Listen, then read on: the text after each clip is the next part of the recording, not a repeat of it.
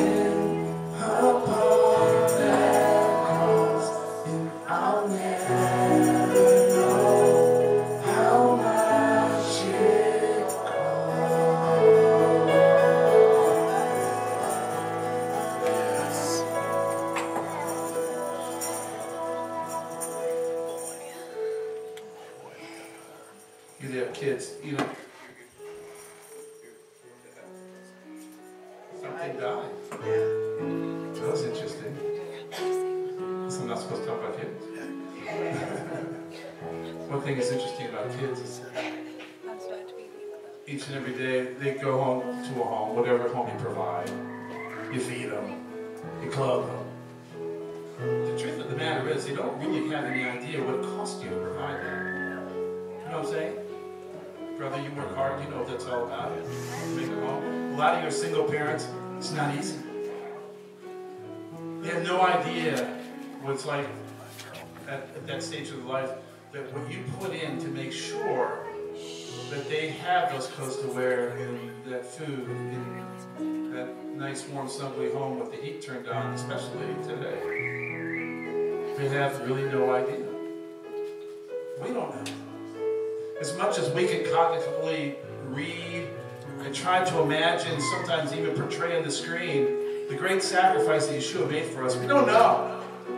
We really don't. Remind ourselves that we think that, that we have some concept of really what that was like and what, what, what he experienced. Right. And what the Father experienced to allow that to happen. Would you allow your children to go through what Yeshua went through? I think any of us would. We have no idea. We've given a number, you know, but we really we don't know. I, I think someday we will. And I think the day that we stand before Yeshua, that we're going to be on our face going, "Oh my gosh, I."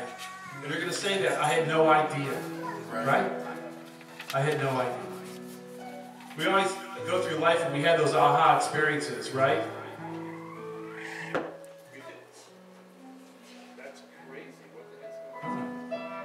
That's a new one.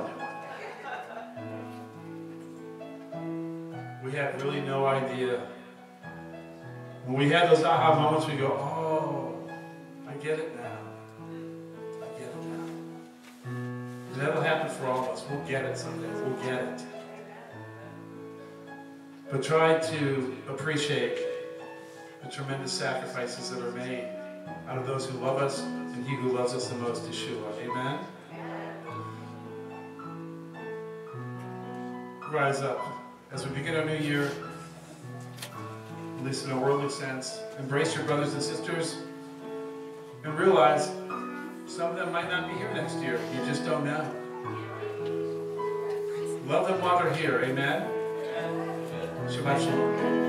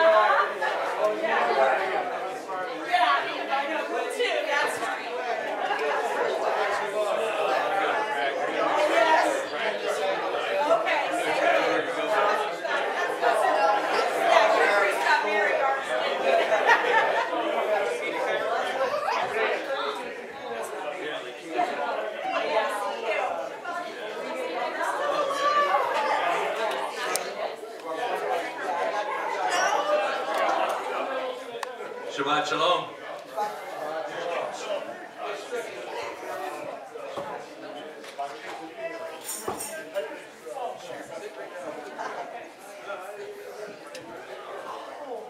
Rabbi says I gotta hurry because we got a long way to go and a short time to get there, so here we go. Smokey and the band. As wild as that was, that was an interesting show.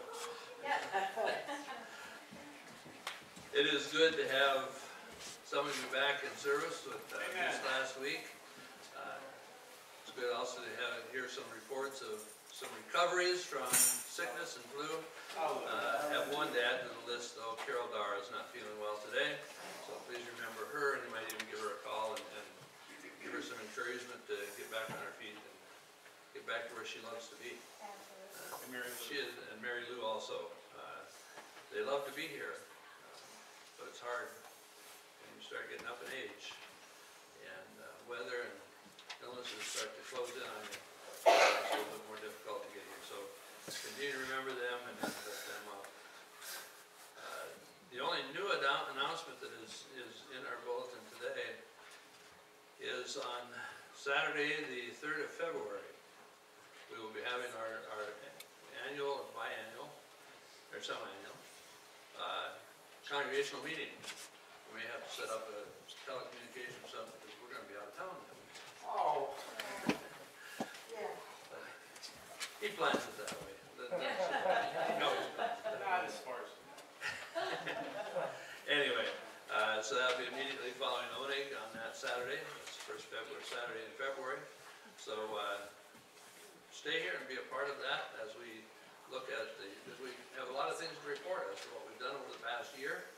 And, uh, a lot of good, good things as to what the new year is going to hold for us. Uh, So we appreciate your continued support, appreciate the continued support in December financially. And uh, we're into a new month, a new year now. uh, And so don't forget the Shabbat, uh, Tzedakah box is up here.